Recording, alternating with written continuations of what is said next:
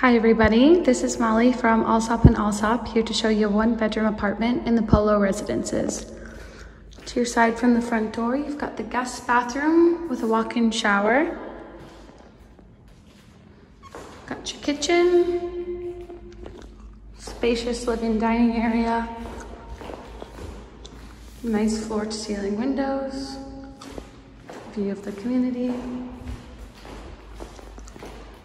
into the bedroom. We've got the master bath with a tub and stand-up shower. Built-in wardrobes